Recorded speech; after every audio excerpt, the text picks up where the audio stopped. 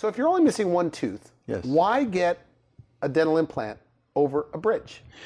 Well, it's certainly more cost effective. It's certainly cheaper doing it that way. And Randy, uh, in the years past, yes, that was the conventional way to do it. You would actually have to trim back the adjacent teeth next to that missing tooth and make a conventional fixed bridge. But today, it's much nicer to, as we've done for many patients, uh, place that one single implant in, make the single crown, and it, it feels more natural, and you don't have to involve any other teeth and uh, i it's a much nicer result. So how long does a bridge last, and how long does a, an implant last, statistically? Uh, statistically, uh, fixed bridges can last upwards of 10 years, where versus uh, dental implants can last a lifetime. Okay.